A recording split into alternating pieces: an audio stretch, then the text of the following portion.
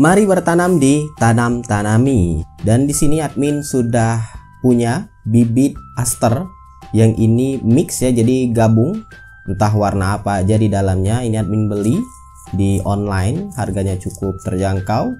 Dan ini ada 100 seed atau 100 benih yang sebenarnya admin sendiri nggak ngitung ya sini 100 benih atau enggak. Dan bisa kamu lihat di bagian bawah sini sudah ada media tanamnya.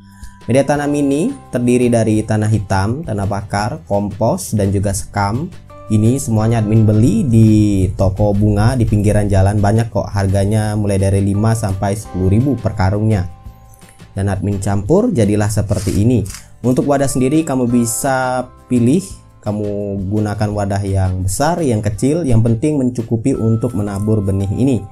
Nah, buat yang belum tahu, ini dia bentuk dari benih aster kecil kecil banget malah. Kalau diperhatiin banget mirip-mirip dengan kuaci tapi ini yang versi kecilnya. Aster sendiri sebenarnya ada banyak itu ya banyak varian. Tapi ya namanya beli online apalagi nyari yang harga terjangkau ya dapatnya yang mix seperti ini. Tapi kalau kamu mau cari yang satu warna jadi bisa tahu warna persisnya Silahkan coba dicari, link pembelian nanti admin akan sertakan di deskripsi ya, di deskripsi video ini. Nah untuk cara menanamnya sendiri sederhana sebenarnya untuk aster ini. Siapkan media, benihnya, dan jangan lupa ini dia spray. Nah, untuk benihnya sendiri karena kecil ya, jadi kamu nggak perlu menanam benih ini terlalu dalam. Jadi cukup taburkan lalu timpa dengan tipis tanah tipis aja. Admin contohkan aja supaya lebih mudah. Nah, seperti ini. Lalu tabur.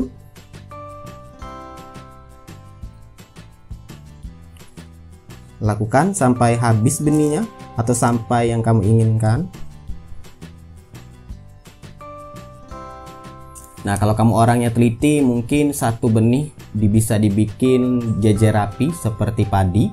Tapi ya karena ini mau cepet, mau ringkas, jadi bisa kamu tabur seperti itu aja. Lalu perhatikan ini kan gak kelihatan sudah mana benihnya mana sekamnya ya jadi tinggal kamu timpa aja dengan tanah tipis di atasnya nanti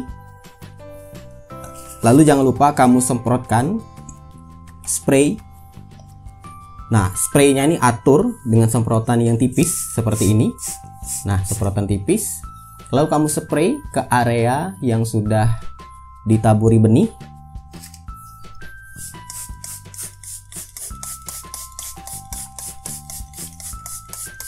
Ingat jangan sampai benar-benar basah tapi cukup lembab saja. Dan pada saat menaruh benihnya ini, medianya ini, jangan kamu langsung kenain matahari. Jadi taruh di bawah bayangan matahari atau boleh juga di dalam ruangan. Intinya jangan terkena sinar matahari secara langsung.